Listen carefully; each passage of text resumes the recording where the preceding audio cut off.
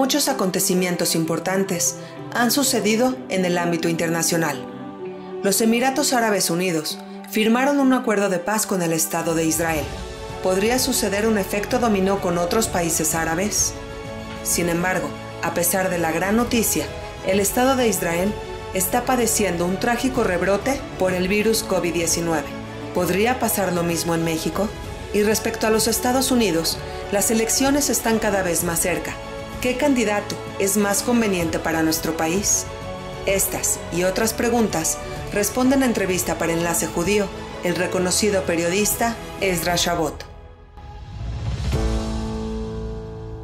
Hola Ezra, ¿cómo estás? Qué gusto me da saludarte. Muchas gracias, gracias a Enlace Judío por esta entrevista. Esdra, son muchas preguntas las que te tengo en esta ocasión y sobre todo son de temas muy diversos. Iniciemos con lo primero. Eh, ya se firmó este acuerdo de relaciones entre los Emiratos Árabes y el Estado de Israel. Primer pregunta, quizá eh, la que más puede interesar, ¿podría provocar esto un efecto dominó con el resto de los países árabes? Hay que recordar que mm, un punto fundamental es que Israel ya tenía establecido un acuerdo de paz básicamente con dos países. Primero fue Egipto, después fue Jordania, y esto, aunque pues, eh, no ha sido una paz que pudiese generar al mismo tiempo un acercamiento mayor debido al resto del conflicto, el problema palestino fundamentalmente y los conflictos en Gaza y Cisjordania, lo cierto es que en el momento en que esto consigue pues, eh, ampliarse, y llegar a una zona como es la península arábiga, esto le permite a Israel romper un cerco que estaba pues prácticamente imposible de eh, eh, cambiar o de, modificar en el corto plazo. Eh, el hecho de que tanto los Emiratos Árabes como Bahrein hayan abierto el espacio genera no solamente un potencial económico, sino un cambio fundamental en lo que podríamos llamar las nuevas alianzas. Eh, durante mucho tiempo el tema palestino era el tema central que evitaba que el avance en las relaciones entre Israel y el eh, mundo árabe pudiese eh, caminar a una mayor velocidad.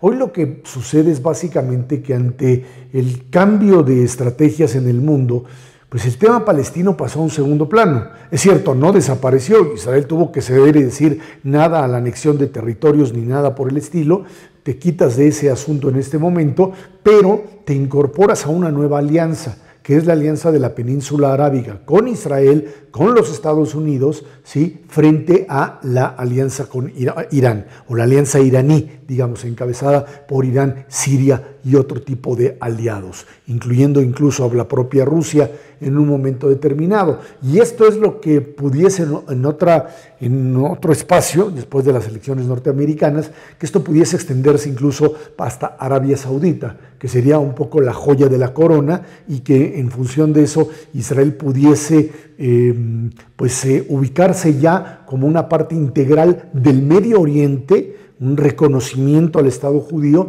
y lo que al mismo tiempo generaría, y esta es una parte importante, eh, esta necesidad de Israel de tener posiciones mucho más flexibles frente a los propios palestinos. O sea, un Israel ya metido, insertado ya dentro de lo que es esta gran alianza, pues no puede manejar una posición de dureza y decir yo no negocio nada o mando al demonio el, el, acuerdo eh, de dos, dos, naciones, dos estados dentro de la zona Israel, Cisjordania, Gaza, porque pues esto podría poner en riesgo lo otro.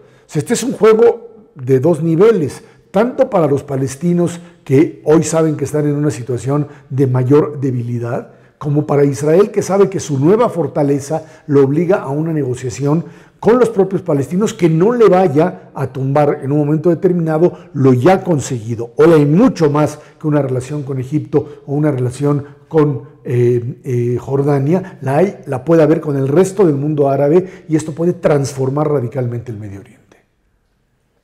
Esdra, eh, mencionabas a los Estados Unidos en tu respuesta y es imposible no preguntarte sobre esta nominación que recibió Donald Trump para el Premio Nobel de la Paz.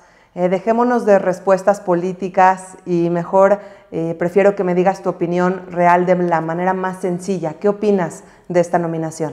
No, bueno, pues es una nominación que tiene que ver fundamentalmente con un cierto tipo no se puede evadir de presión política. Obviamente, eh, dado el acuerdo o el impulso de Trump a este acercamiento entre Israel y el, eh, el, mundo árabe, aparece este tipo de nominación.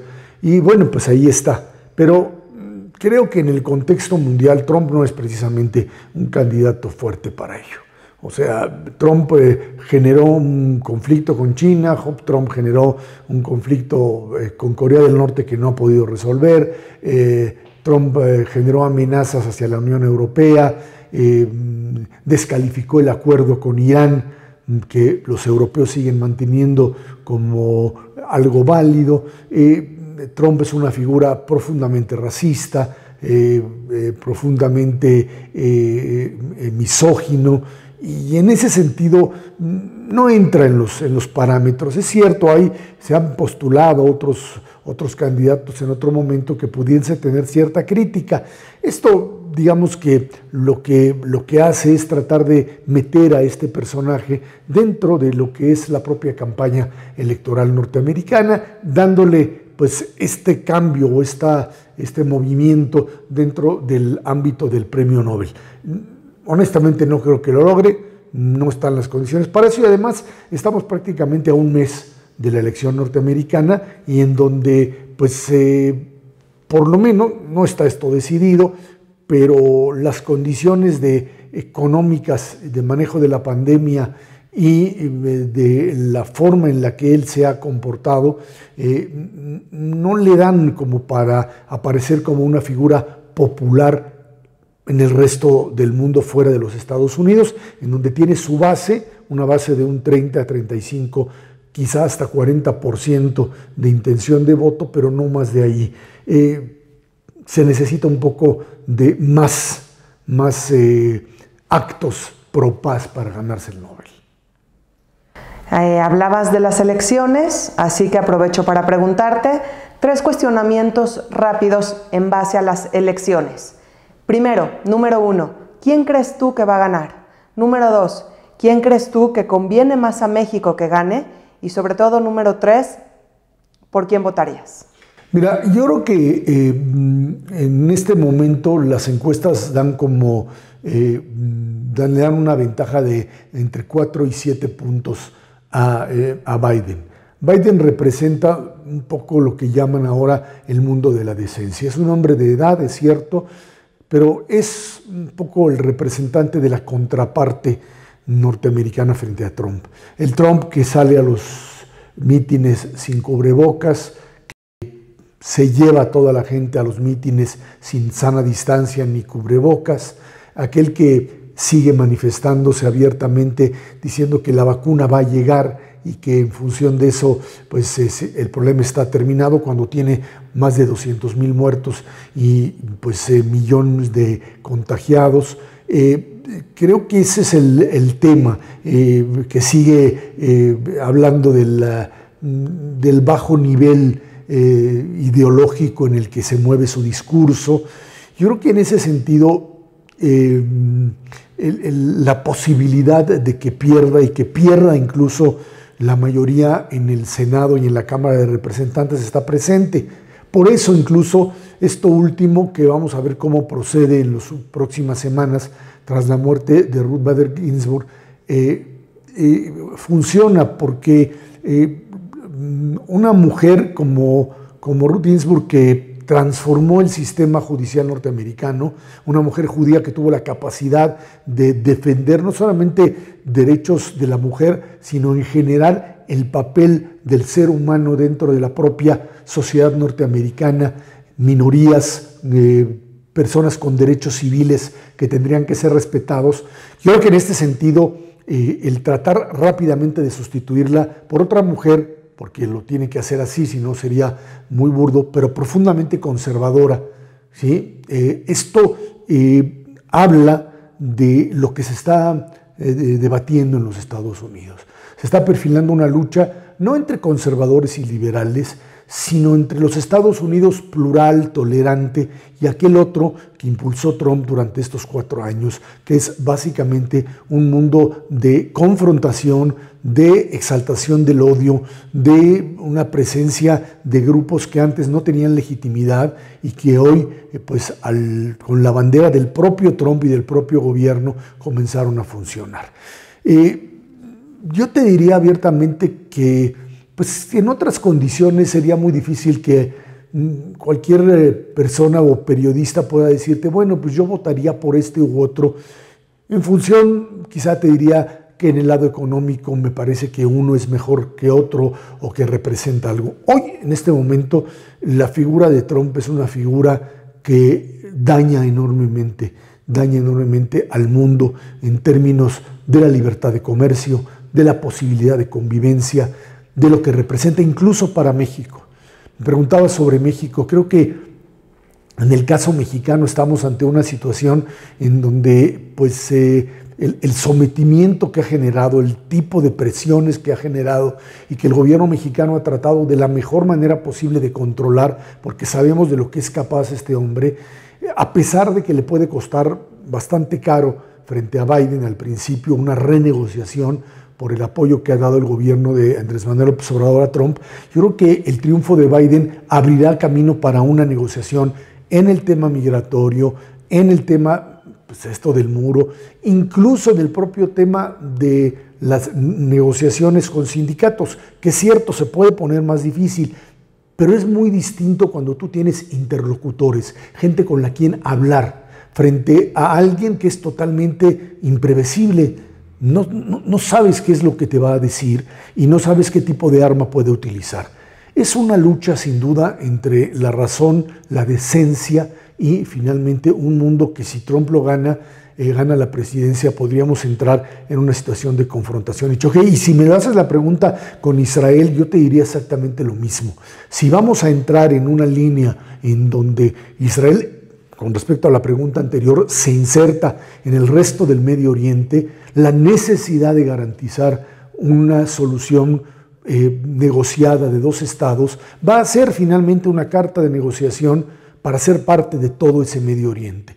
Y creo que en ese sentido el pragmatismo político que pueda representar cualquier el que sea el gobernante israelí desde Netanyahu a cualquier otro, tendrá que pasar por ese filtro. Yo creo que en ese sentido sustituir a, Trump no es ningún problema, no representa ningún riesgo. Creo que es un poco volver otra vez al orden, a la sensatez y repito. Entonces, sin duda, votarías por Biden. Sí, si yo fuese ciudadano norteamericano, por supuesto. Estra, eh, siguiendo con temas internacionales, podemos ver este rebrote del virus en el Estado de Israel que volvió a colapsar a la sociedad, a los hospitales, a la economía, etc. Esto nos hace pensar de inmediato en nuestro propio caso. ¿Podría pasar lo mismo en México? Mira, yo creo que en el caso de Israel lo que sucedió es que tuvieron tanto éxito en el principio, eh, lograron controlar el manejo del virus, eh, apoyaron eh, las, eh, a las empresas, a las industrias, al, manejo inicial, que pensaron que era mucho más fácil rápido reabrir. Y reabrieron violentamente, diría yo. Y en ese sentido se les fue de las manos. todo este concepto de encapsular a la gente para que pudiese salir no tuvo ningún tipo de control. Y esto te llevó a lo que tenemos en estos días, a cierres totales prácticamente, a volver otra vez a, lo que teníamos en, la época de Pesach, que era prácticamente eso, el cierre. Eh, y creo que en ese sentido eh, la respuesta que se está dando en este momento puede no serle, incluso a muchos les parece exagerada, eh, pero yo creo que no tienen de otra. No hay otra salida. Hacer pruebas, obligar a la gente a usar cubrebocas, distancia social y cerrar hasta donde pueda cerrar. Mientras no haya una vacuna efectiva y no la hay en este momento, no tienes de otra. ¿sí? Eh, eh, utilizar los recursos, y esto lo están tratando de hacer para finalmente apoyar a los negocios, a las empresas y finalmente a los individuos, es la otra salida, no tienes otra alternativa en ese sentido. Así es como la tienes que jugar. En el caso mexicano, desgraciadamente tienes un modelo no de, em, no de rebrote, sino de una presencia constante del virus. Eh, se hacen pocas pruebas y por ello los números que se manejan, pues no sabemos bien a bien si son los acertados, los correctos. Se nos va a juntar con la propia, eh, eh, el propio momento de resurgimiento de la influencia, de la influenza, perdón, y que pues obliga a una vacunación rápida frente a ello. Pero creo que aquí el problema radica en que la apertura rápida que se tiene eh, está manejando todavía un número muy alto de lo que se llama la positividad, o sea, el 30%, 40% o 50% de positivos todavía entre aquellos que se, finalmente se, eh, se evalúan, te habla de que el virus está presente y que pues puede haber disminuido en algunas zonas, pero, pero sucede así. La gente, dicen los hospitales, este, ya no está recibiendo tanta gente, es que la gente se queda en las casas, o se quedó en las casas. El número de muertos eh, que se tiene, eh, que ya rebasa las cifras que se manejaron como catastróficas de 73 mil, 74 mil o 75 mil, te habla de un número mayor eh, también afuera, porque hay gente que no fue atendida de otras enfermedades, porque estaban los hospitales saturados. En ese sentido, hay que extremar enormemente las, eh, las medidas. Sabemos que la gente está harta, sabemos que la gente en la comunidad ha presionado enormemente por aperturas, pero uno tiene que voltear a ver el número de contagios producto de esa presión. Eh, gente que, y lo digo a título personal, es mi responsabilidad y no la de nadie más, gente que ha pues terminado haciendo bodas y fiestas y bar mitzvot y que ha elevado el número de contagios a niveles ya, me parece a mí, alarmantes para el estado de la comunidad y que tiene necesariamente que regresar otra vez a niveles de contención porque de lo contrario nos vamos a meter en una situación que no vamos a poder manejar. Cuando yo estoy haciendo esta entrevista y hay un número de 20 personas fallecidas por coronavirus dentro de la comunidad. Ahí está el número, es un número público, que son 20 vidas que muchas de ellas pudieron salvarse si se hubiese tenido el cuidado debido. 1.600 a 1.700 contagios que eh, también muchos de ellos tuvieron que haber sido evitados porque estas actitudes de eh, suponer que a mí no me pasa, yo entiendo que tenemos que salir y hay que hacer ciertas cosas, pero hay eventos entre los cuales no es posible manejarlo. Una cosa incluso es tener un evento de 50 personas cubiertas y manejable a tener 200 personas juntas en muchas ocasiones, o esos videos que circulan luego en redes sociales en donde están jóvenes este, e incluso adultos eh, sin ningún tipo de cubrebocas bailando y bebiendo de, eh, copa en copa como si nada sucediera. Eso es una irresponsabilidad. Y yo entiendo que las autoridades comunitarias hacen lo posible por contener esto. Este, insisten y la presión social es mucha. O tenemos conciencia de eso o lo vamos a pagar, ya lo estamos pagando muy caro y lo podemos pagar todavía peor. Sin duda, Esdra, eh, a pesar de que podamos estar meses ya en esto y estemos un poco cansados del tema, bajar la guardia puede conllevar un alto costo. Esdra, finalmente te quiero preguntar sobre los ganadores de esta pandemia, porque sabes perfectamente que los ganadores sí existen. ¿Me podrías platicar un poco de ellos? Yo creo que la gente que finalmente pudo ganar en esta pandemia algo, uno fue la gente que se protegió, que decidió que tenía, que, fue lo suficientemente precavida para todo, ¿eh? Eh, la gente que usó, que se metió a su casa, eh, la gente que una vez que empezó esto, previó que esto pues iba para largo y, que entendió que iba para largo y pudo manejar presupuestos sin aventar las cosas y decir esto pasa rápidamente. La gente que pues finalmente pudo eh, establecer prioridades. la gente que trabaja en, eh, o que pudo brincar rápidamente y meterse al área de la salud en aquella parte de eh, eh, pues cubrebocas, pruebas, etcétera, es gente que finalmente cuestiones médicas, es gente que supo aprovechar en el buen sentido de la palabra la oportunidad de hacerlo. Pero yo creo que los grandes ganadores, independientemente de eso, están precisamente aquellos que tuvieron la posibilidad de por un lado, establecer este tipo de políticas de evitar las grandes caídas, las grandes quiebras.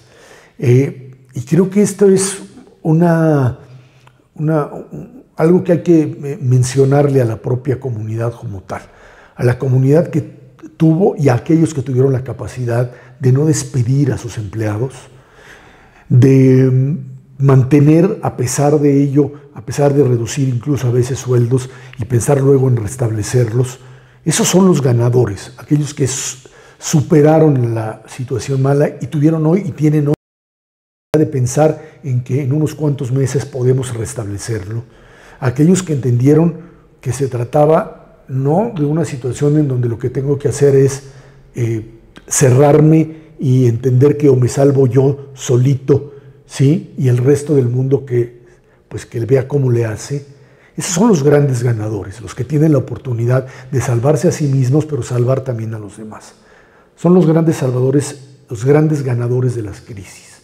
Aquellos que entienden que su futuro depende del futuro también de los demás y no nada más de lo que uno pueda hacer para salvar a su familia. Creo que en ese sentido es como vamos a entender que una vez pasada esta tormenta, vamos a reconocer a aquellos y vamos a ver que esos ganadores van a ser los que puedan guiar al país y también a la comunidad hacia un mejor camino. Y si hablamos de ganadores, por supuesto que también tenemos que mencionar a las farmacéuticas y a eh, los, las instituciones de salud privadas.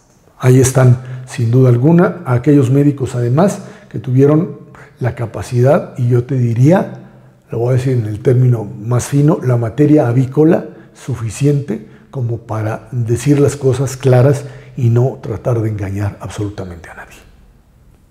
Esdra, te quiero agradecer tu tiempo, tus respuestas claras como siempre y espero que nos veamos el próximo mes con un mejor escenario. Así espero que sea. Gracias Enlace Judío por esta entrevista. Hasta la próxima.